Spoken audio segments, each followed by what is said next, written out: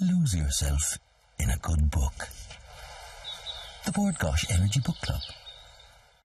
Now, our next guest fell into the cafe industry as an employee back in the 1980s, sorting cutlery in the rooftop restaurant in Clerys department store. But by the early 90s, he was managing Bewley's flagship store on Grafton Street. Drawing on all of his experiences, good and bad, businessman Colin O'Brien has recently published a Feeding Johnny, which documents his highs and lows in the world of business. Colin, good morning to you. Sinead, lovely to be here. Thank you very much for having me along. Thrilled to have you here. Congratulations on the book. Thank you. Uh, which I read Very last night. It's a, great, it's very Oh, easy read. Well I did. well it was very, very you, good. I would like to go back to the beginning. Okay. You were growing up. Uh, tell us where you came from, first of all. Northside Dub. Okay. Uh, mum, mum and dad. Uh, you know, I always say that we were very blessed to be, to be born into this situation we were.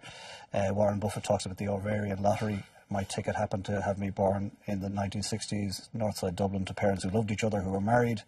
Dad always worked for a living. Mum was always a stay-at-home mom, so it was virtually perfect. No money, but it was perfect. Now, your dad, you were saying as we were chatting earlier on, your dad worked for someone else all his live long life. And that began to irk you, even on maybe a subconscious level.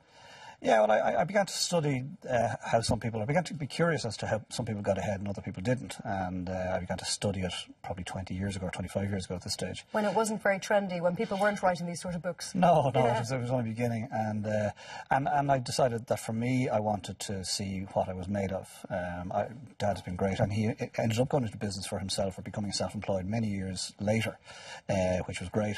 But uh, you know, I just I, I was fascinated, and still am fascinated about the difference in thinking that keeps somebody in a job, or has that person become self-employed, or indeed has that person go on to be- become a business owner. So how do you navigate your way from sorting cutlery out in, in Clerys restaurant to owning a business which turns over five million a year? a lot of hard work. Yeah. Uh, willing to take knocks. I think the, the starting point is a decision. That, that, that's what you want to do. That you want to get. You know, you want to create something for yourself. And uh, once that decision is made, well, then you're open to opportunity. If, if you don't make that decision, the opportunities will just pass you by. Now, you were managing the flagship store of Bewley's on Grafton Street, Yeah, yeah. which sadly now we know is, uh, is, is on tougher times to say the least. But you then decided to manage your own uh, cafe away from that, and that failed. Yeah, I was the franchise, sorry, Bewley's uh, manager in Bewley's in Grafton Street. Then I was the franchise manager for, for Bewley's Cafes, which took me outside the pale. And I founded the Bewley's franchise in Limerick, which we took on in 1998, myself and my wife, Aideen. And Was that taking a big risk when you did that? Colin? Not really. No, Yeah. it was a calculated risk Yeah. because I had a huge amount of experience in the industry and with the brand, the Bewley's brand at the time. So it was very calculated. Uh, but it failed. Ultimately, it, it, it died. Uh, a, a sad death in 2005, mainly to do with the Celtic Tiger. I have a piece in the book there called The Fecking Celtic Tiger, and uh, uh, because the Celtic Tiger has, you know, upset this country hugely, and uh, we happen to have been victim of it at one stage, and I believe we've come through the far end and coming out. The Did that leave you personally with massive debts? And Oh, yeah. you did. Yeah, yeah. So how do you? And we were discussing this earlier on because I do think they're going to discover some kind of entrepreneurial gene in years to come. That when everything falls to pieces, when your business collapses around your ears, whether it be by your own hand or financial circumstances surrounding you, like the Celtic Tiger, Mm. the ability to then pick yourself up after that and carry on and remake yourself is really what it's all about. It really is about getting back up again, and I think that's a decision everybody uh, can take. Um, nobody goes into business to fail. I, I think that, that's a given. They go into business to make something of it and probably of themselves. Yet every successful businessman and woman has failed. Uh, No question, Yeah. because un- until you fail, you actually don't know what you're made of, and it's one of those scary things that you're wondering in the night: will it happen, and how will it, how will I cope when it happens? And it happened to us, and it's happened to thousands of people, tens of thousands of people. And you know, the, the book is written for those people out there that are starting a business, have started a business, perhaps are struggling with a business, who want to start a business. And I really want more people to step out and bet on themselves and become self-employed. Tell us just a little bit about your own business. Carambola Kids is the business uh, today. It's a school lunch business. We started with uh, 27 lunches uh, in 2003 in Moyross, which is a very disadvantaged area in the country and particularly in Limerick. And uh, today we're sitting here this morning and we would have fed 20,000 children all over the country from Donegal to Kerry, from Carlingford Lough to Wexford. Nationwide business now, uh, employing over 100 people. And uh, so it's been great.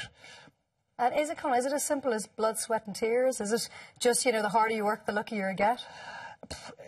I, I don't think it's as simple as that. Okay. No, no, I don't think so. I think there has to be a market there for what it is you're providing, um, and we happened to have stumbled ac- across a market, and then we worked hard at it, and we I absolutely believe in do the job right, and the money will follow. Uh, too many people, I think, go into Chase the business- money I first. chase the money Yeah.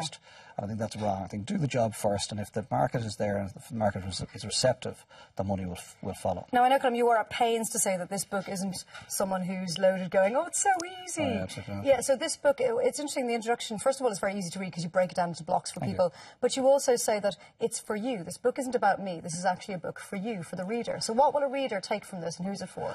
It's for anybody out there who has ever thought of starting a business and is afraid to take that first step. That's the first group. The second group it's for is for somebody who has actually taken the first step and is thinking, it's actually scary. What the hell have I done? Yeah, yeah.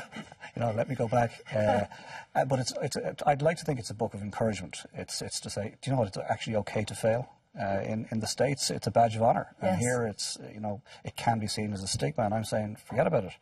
You know, let it be a badge of honour. Let's let, let earning your say- stripes Absolutely, yeah. absolutely. And uh, I'm delighted Carambola Kids is going uh, really well. Um, but we've no idea what the landscape is going to be in, in 10 years' time, you know. Are you sensing the turn up there, Colm? Are we Oh, facing into brighter days? No question, no question. The green good. shoots are real. On that positive note, we will leave it. Colin O'Brien, Feeding Johnny, How to Build a Business Despite the Roadblocks. Really good book for everyone. Thank you very much. My pleasure, Sinead. Lovely to meet you. Now, to celebrate the 200th anniversary of Jane Austen's Emma, this year we've chosen it as our book club choice for February. If you would like to be in with a chance of winning a Versus tablet and goodie bag, then simply send us your review by Friday, February the 27th. You can email them to irelandam at tv3.ie. You can also post your entry to Bord Gáis Energy Book Club, TV3, Westgate Business Park, Ballymount, Dublin 24. Lose yourself in a good book. The Bord Gáis Energy Book Club.